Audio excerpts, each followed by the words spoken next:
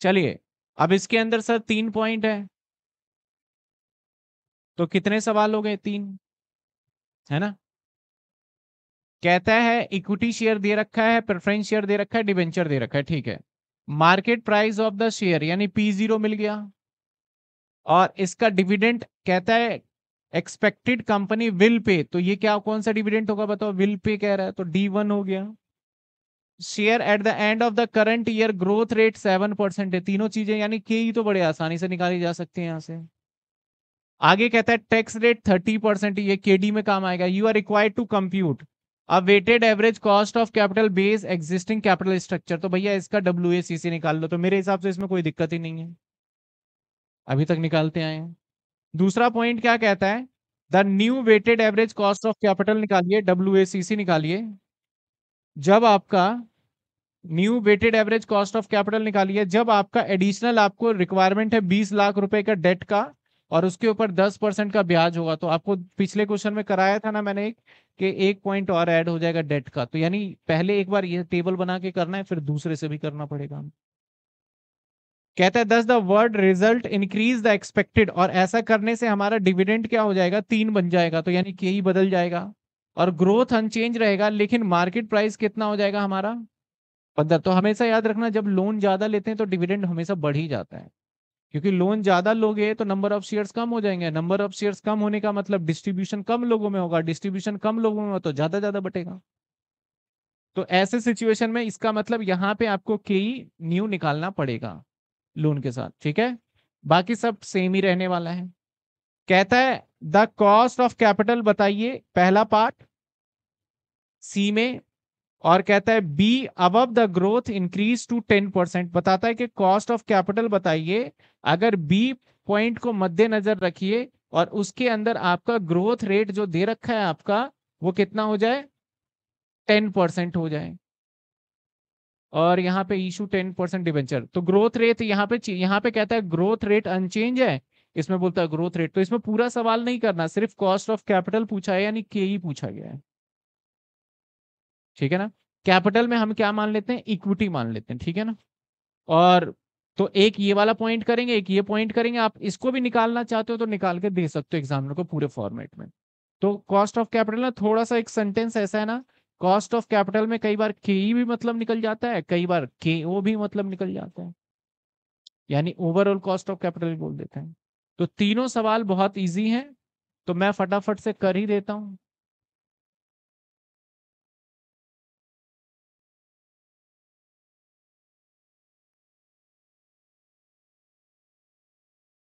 एक, दो,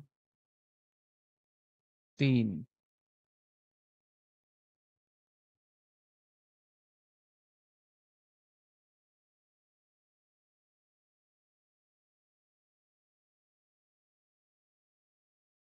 चलिए।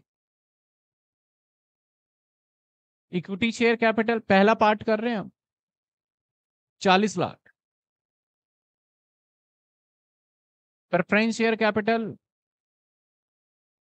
दस लाख। डिबेंचर तीस लाख। और ये सिक्स परसेंट है और ये एट परसेंट और हमेशा याद रखिएगा प्रेफरेंस शेयर में कभी जल्दी बदलाव होता नहीं है। ये सिक्स से लिख दिया मैंने, ठीक है? क्योंकि उसके अंदर कुछ ज़्यादा है नहीं। रिडीमेबल वाले में बदलाव हो जाता है। इसके अंदर तो सिंपल जो रेट दे रखा है वही, क्योंकि इसके अंदर वो टैक्स वाला फैक्टर तो हट ही जाता है। चलिए अब पहले क्या निकाल ले हम? के सर के मैं फॉर्मूला नहीं लिख रहा। सीधा आपका क्या बनेगा? D one divided by P zero plus G और पहले वाले पॉइंट को मद्देनजर निकालना है तो उसके लिए ये वाला डेटा यूज़ करना है। यानी हमारा दो डिवाइडेड बाई बीस और प्लस में ज़ीरो पॉइंट क्या आ गया बताइए? सत्रह परसेंट।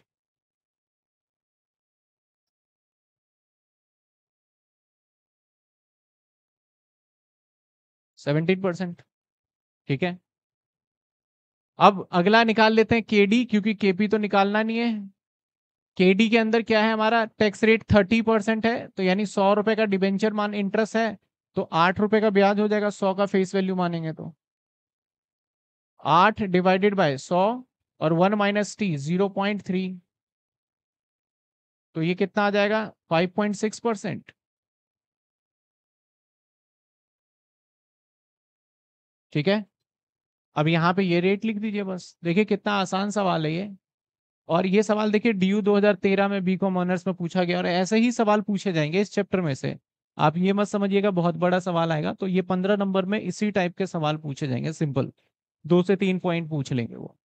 तो ये आ जाएगा हमारा ज़ीरो पॉइंट वन सेवन और zero point zero five six तो चार तो ये कितने हो जाएँगे?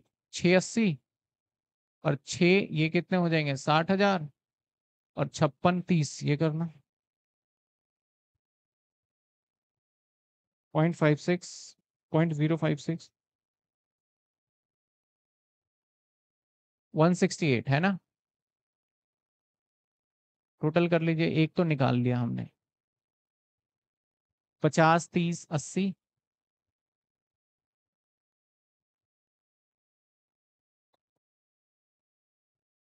Nine, zero. यहाँ निकाल लेते हैं W A nine, zero, eight, triple, zero. Divided by अस्सी लाख वैसे ये होमवर्क में दिया जा सकता था सवाल।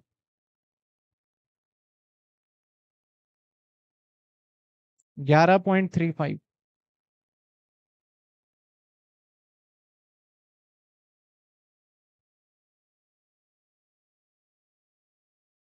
ग्यारह point three five.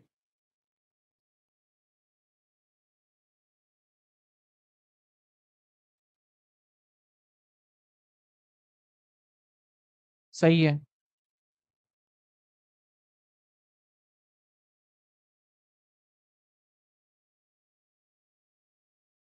Second part करें?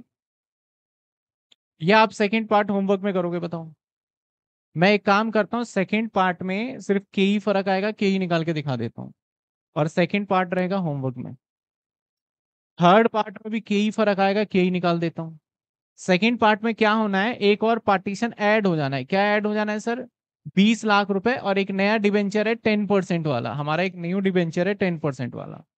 चलो, जब एक ही पार्ट ऐड होना है तो मैं कर ही देता हूँ, छोड़ो।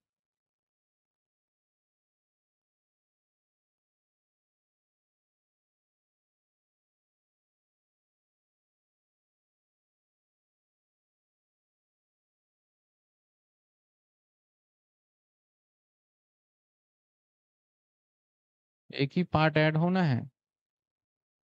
और ये के ही बदल जाएगा तो ये भी बदलेगा। इन दोनों पे कोई फ़र्क नहीं होगा। एक टेन परसेंट और डिबेंचर आ जाएगा। और दैट इज़ कितने? बीस लाख। और टेन परसेंट डिबेंचर है तो ये सात परसेंट आएगा। मैं इसके लिए न्यू के डी निकाल देता हूँ। इसके लिए यहाँ पे चल रहा है। ठीक है? सर, के डी। के डी कितने? दस परसेंट है। दस डिवाइडेड बाय सौ। One minus zero point three. तो सर, इसको सॉल्व करोगे तो सात परसेंट आ जाएगा। That is zero point zero seven. Sir के ही निकाल दो एक बार। के ही के अंदर सवाल में बोला गया चेंजेस हो गया डिविडेंड तीन हो चुका है। मार्केट प्राइस पंद्रह हो चुका है। ग्रोथ अनचेंज है तो ग्रोथ पहले कितना लिया था हमने? Zero point seven?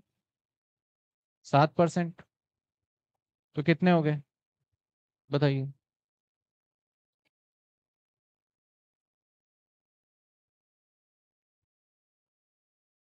सत्ताईस परसेंट। तो zero point two seven into चालीस लाख। चेक कर लेना भाई, यही आ रहा है ना? दस अस्सी। पॉइंट सेवन इंटू बीस लाख। एक चालीस। ये तीसरे में है। दूसरे में तो अनचेंज है ठीक है? दस अस्सी। चौदह लाख। अड़तालीस हज़ार। चालीस पचास और तीस अस्सी और बीस। सौ लाख। इसका डब्ल्यू ए सी सी चौदह लाख अस्सी हज़ार डिवाइडेड बाई सौ लाख।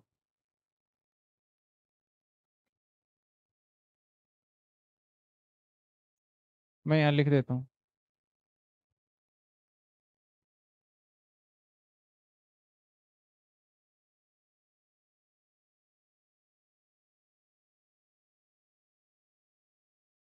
ठीक है? फोर्टीन पॉइंट फोर एट आया मेरा बच्चे हाँ वो दो पॉइंट एक कुछ का फ़र्क चलेगा ठीक है?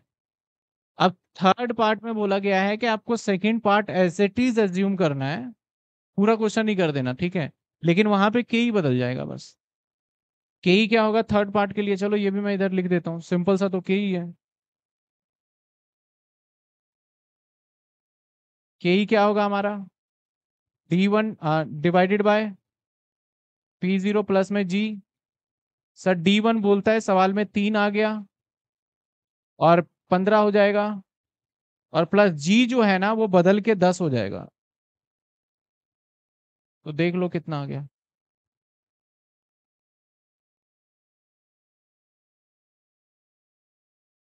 तीस परसेंट हो गया। तो बस ये तीस परसेंट से करना है आपने, बस। तो तीसरा पार्ट होमवर्क में रखते हैं, ठीक है? थर्ड पार्ट होमवर्क में रखते हैं। सर मैं ही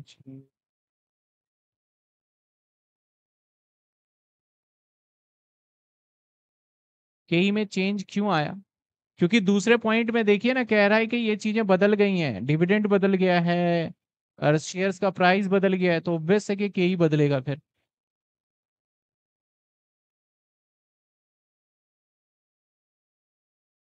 बताइए कोई डाउट। ये भी बड़ा सिंपल सा सवाल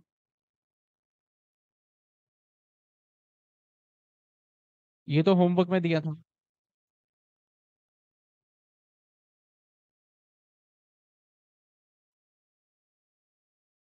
पहले बताइए, इस वाले पॉइंट में डाउट किसी का? इस वाले में किसी का डाउट? नहीं?